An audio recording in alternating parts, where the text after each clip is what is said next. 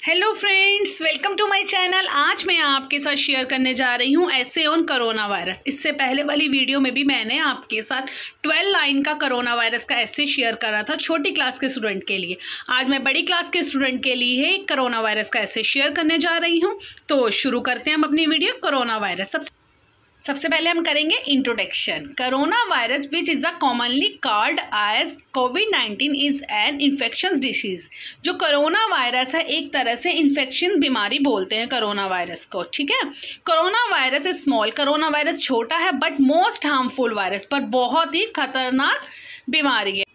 They harm the human respiratory system ये मनुष्य के रेस्पिरेटरी सिस्टम को बहुत ही ज़्यादा रेस्पिरेटरी का मतलब है श्वसन तंत्र.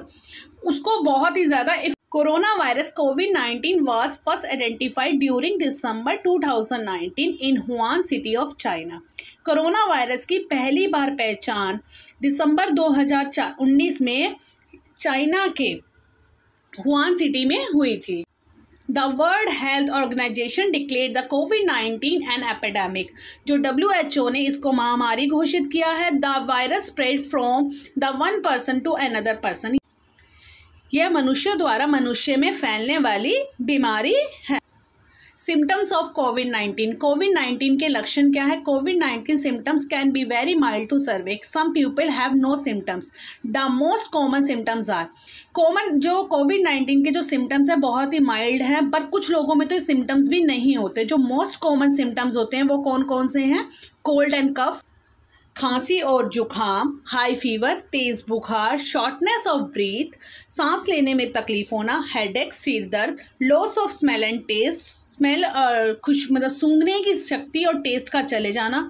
शॉर्ट थ्रोट गले में खराश होना। Can also be seen in corona virus patient ये जो लक्षण है करोना वायरस के पेशेंट में देखे जाते हैं।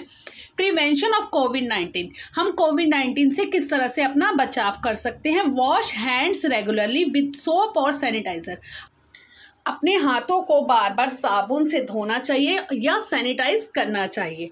Avoid unnecessarily outing on public place ज़रूरत ना होने पर पब्लिक प्लेस पर नहीं जाना चाहिए। Avoid touching your eyes nose and mouth if your hands are not clean अपने हाथ तो अगर आपके हाथ साफ़ नहीं हैं तो हमें बचना चाहिए अपनी आँखों को, नाक को और मुँह को छूने से। Cover your nose and mouth while coughing and sneezing छींकते और खांसते समय हमें अपने मुँह को ढककर रखना चाहिए। Maintain proper hygiene and cleanness हमें सफ़ाई का अच्छे से प्रॉपर ढंग से ध्यान रखना चाहिए। मेंटेन अ डिस्टेंस हमें एक डिस्टेंस बनाकर रखना चाहिए। एटलीस्ट फाइव से सिक्स फीट का फ्रॉम अ सिक पर्सन एक बीमार व्यक्ति से और समबडी हैज़ सिम्टम्स या किसी में सिम्टम्स दिख रहे हो, उनसे। वियर मास्क मास्क पहनकर रहना चाहिए।